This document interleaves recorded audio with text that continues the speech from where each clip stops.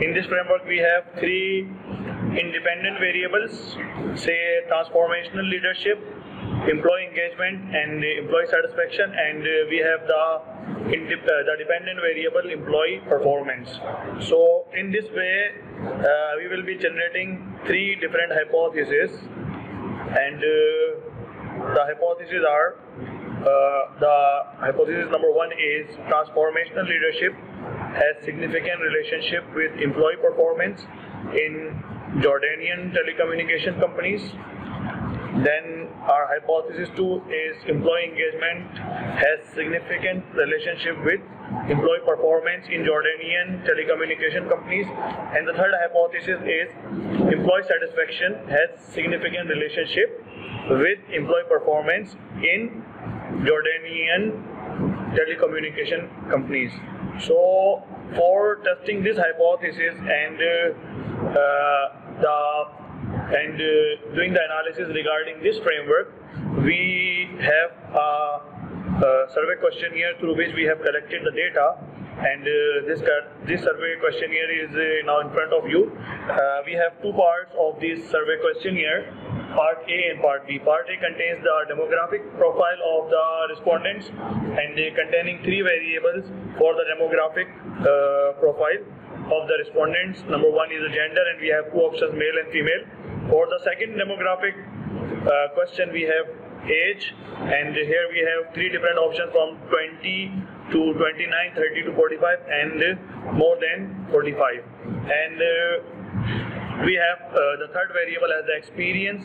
Uh, in experience, we have uh, given four choices to the respondents. Uh, the first choice is less than one year, the second is one to three years, and uh, the third is three to five years, and the fourth option is more than five years.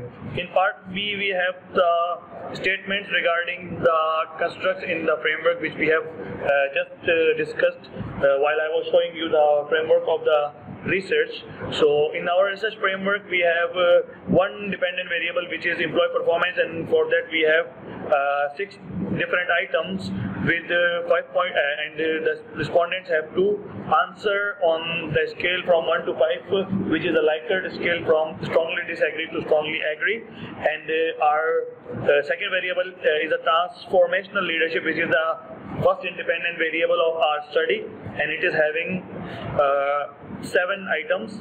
Uh, in the same way, we have the employee engagement as a second independent variable, and it has eight items.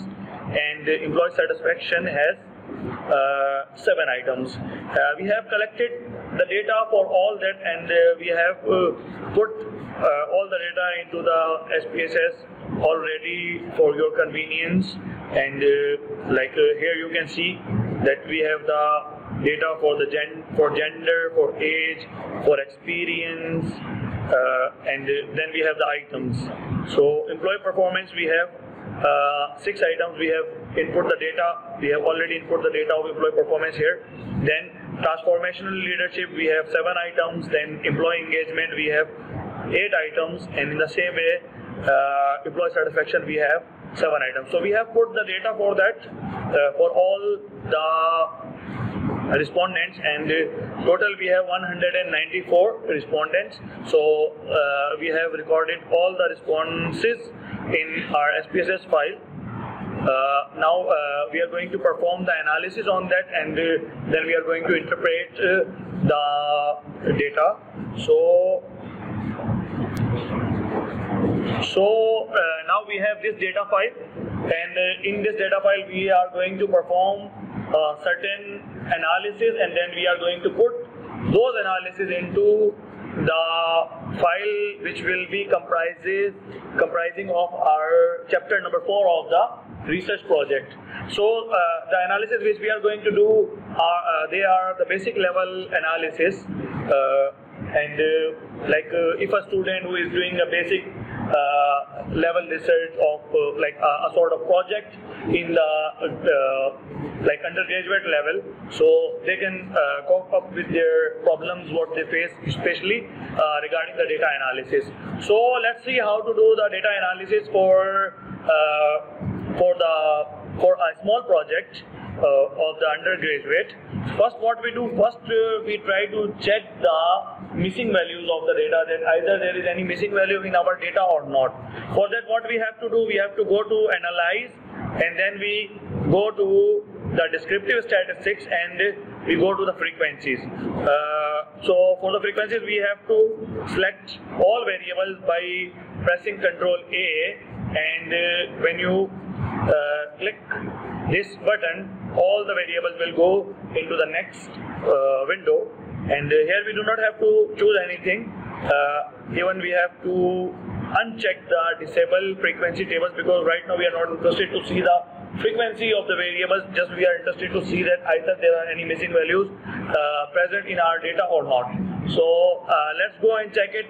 Press ok and uh, we can see a table here. Uh, it is a lengthy long table. So for analyzing this what we can do we can copy it and uh, we can paste it into the into excel. So it will be much better for us to analyze or visualize the things uh, because uh, you know that uh, we are just getting this uh, variable in the uh, horizontal form. So what we can do that we can open a new file in excel and just I, I had just copied the table from the output of SPSS and now I'm going to press here control V and I have pasted the same table over here and I'm going to select the whole table control C.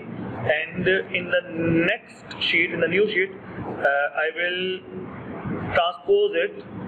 And uh, now see the rows have been uh, changed into the columns. Now here I can easily uh, see if there is any value other than 0 and I can see that there are all all the missing values in uh, for the all variables we can see that it is showing zero it means that there is no missing value in our data set. So for the missing value we do not have to now worry about that and uh, uh, we have to go ahead uh, for the further analysis. So for that first we are going to check the normality of the data and then we are going to check the outliers in the data either we have any outliers or not. So uh, let's examine the, the normality of the data. For that we will go to analyze again and then we will go to descriptive statistics and uh, descriptives. Uh, and what we are going to do that uh, we will select all the items only because no need to do the normality test for the categorical variable. So we have to see that either our uh, variables are normal or not the sub items. So for that uh, we are interested to check the distribution of the data and here we have two options kurtosis and skewness. So uh, the ideal values for the kurtosis and skewness are plus minus 3 either it should be uh, above uh, minus 3 and or it should be less than positive 3 so uh, I have checked for the kurtosis and uh, skewness and continue and I'm going to press OK. And here I can see a table showing me the skewness the result for the skewness of the data and uh, kurtosis okay?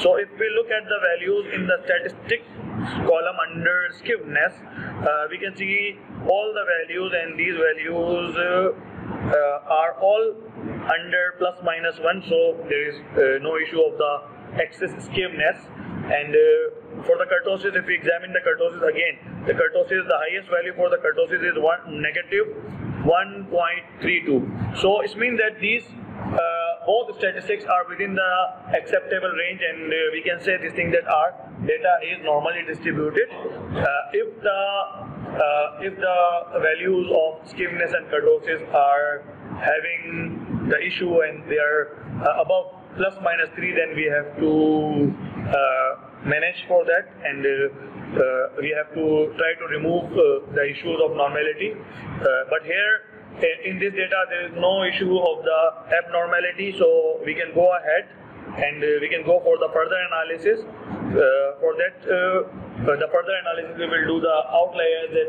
is there any outlier present in our data or not? outliers are actually the extreme values so if there is any extreme value in our data, it will definitely impact on the mean of the data and the analysis will be biased.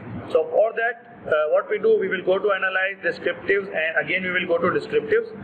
uh, for analyzing the outliers of the data, what we have to do, uh, we have to understand that uh, either the z values, the z score of the variable is uh, outside the range of plus minus 5. If it exists, it means that any value outside the range of plus minus 5 exists, then we have the problem of outlier. Otherwise, we do not have the problem of uh, outlier. What we have done, we have put all the items in the variable box and here we have to check on save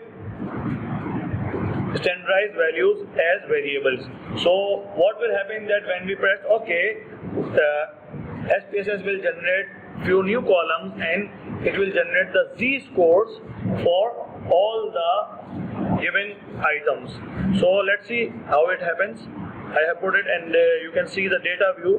In the data view if you go to the end you can see the name of the items starting from Z. This means that these values are basically the Z scores of the items which we have included in our data set. So now for all the items we have the Z scores. What we are going to do, we are going to uh, uh, we are going to uh, find out the minimum and maximum values for all these Z scores, and we have to see that either the values are between the uh, acceptable value of plus minus 5 or not. For that what we have to do, we have to go again into the descriptives, right? And here, what we have to do now, we have to remove the check from the save standardized values because now we do not want the standardized values, we already have the standardized values.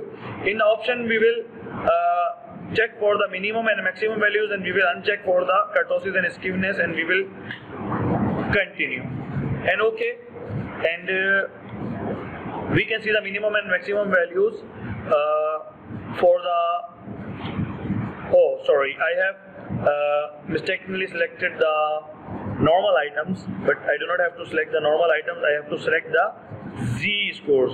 So I will select the Z scores. And for Z score I will run the minimum uh, yeah here you go. And you can see the minimum values uh, in the highest minimum value we are having 2.13 so definitely it is under uh, minus 5 okay? And uh, for the from the positive side the maximum values we have the highest value uh, 1.8 yes 1.8 something 1.80 so it means that all the values are within the acceptable range of plus minus 5 and we do not have any problem of outlier. If we have any problem of outlier then we will have to look for the particular outlier and we have to remove the particular case from our analysis but in this case in this data we do not have the issue of the outlier and uh, now we can go for the further analysis. So uh, now uh, for that